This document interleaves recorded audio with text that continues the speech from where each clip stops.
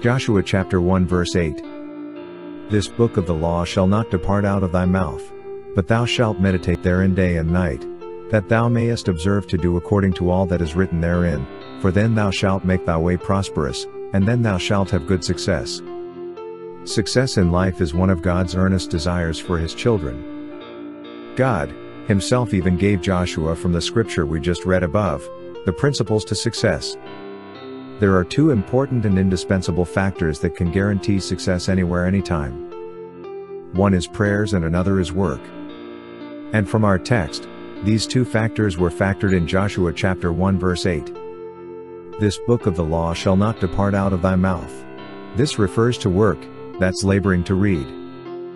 But thou shalt meditate therein day and night, that references prayers or praying because meditation is about reflective and sober thinking which inevitably will lead to praying. That thou mayest observe to do according to all that is written therein. For then thou shalt make thy way prosperous, and then thou shalt have good success. The Bible gives the two acts or actions as the roadmap to success. And God has consistently indicated and wanted us his children to enjoy success and be successful in all we do. Because God himself is not a failure, and like begets like. Our successes are proofs of our acceptance by God and that we are truly His children. And to achieve lasting successes we have got to follow God. For it's Him that knows the way to make us successful. And there is no other way to follow God, other than through prayers. And as we pray today for any of our listeners whose successes have been eluding or whose successes have eluded, there shall be a reversal. There shall be restoration to those whose opportunities to excel or succeed have eluded them.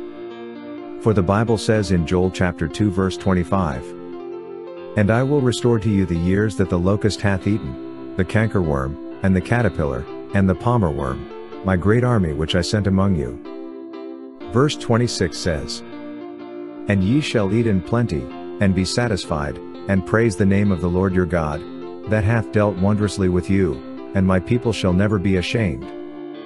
Therefore in the name of Jesus, I decree restoration unto you, my dear listener. In the name of Jesus. Let us pray. Everlasting Father King of glory, I come to you this hour in the name of Jesus. For you said in your word in St. Matthew chapter 11 verse 28.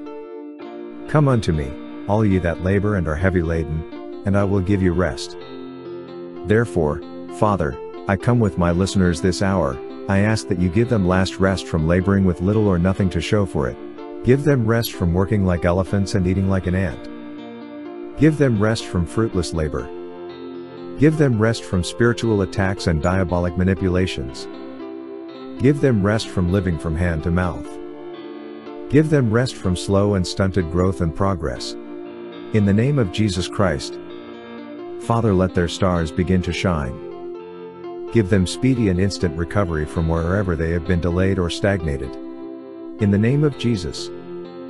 And dear Father, because your will for your children is progress and prosperity, I therefore pray for them, my listeners. Lord push them to make progress and to have good successes in every area of life. Their health, love life, family lives etc. In the name of Jesus Christ. Let that fellow who has consistently failed begin to have consistent successes from now, in the name of Jesus. I proscribe and banish failure forever in the life of every listener now. In the name of Jesus. From today, may none of my listeners know failure again in their lives, in the name of Jesus. Let it be unto them from today, from glory to glory, after the order of 2 Corinthians chapter 3 verse 18. Which says, But we all, with open face beholding as in a glass the glory of the Lord, are changed into the same image from glory to glory, even as by the Spirit of the Lord. Lord let it be so for every listener here and now, in the name of Jesus. May failure never locate nor know their address again from today. In the name of Jesus. Restore unto them, as you promised in your word of Joel chapter 2 verse 25.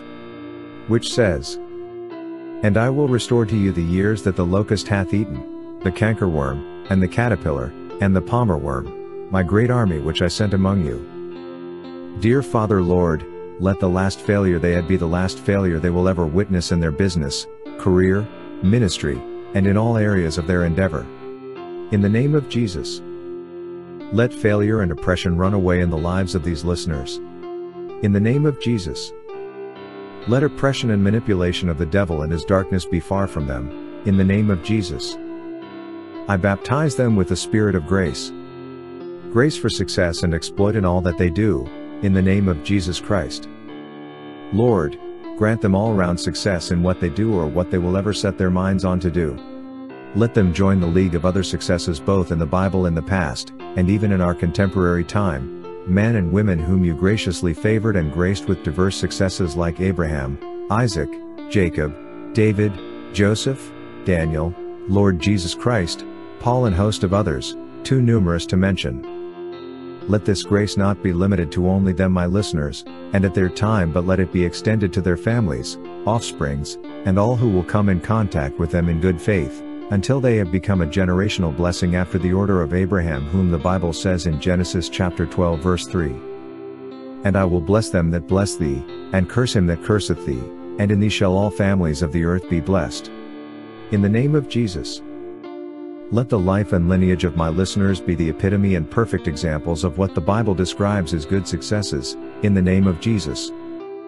Dear Lord protects and perfects their success in accordance with your word of Psalms 138 verse 8.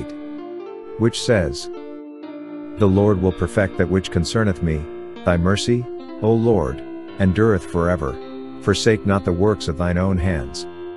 In the name of Jesus.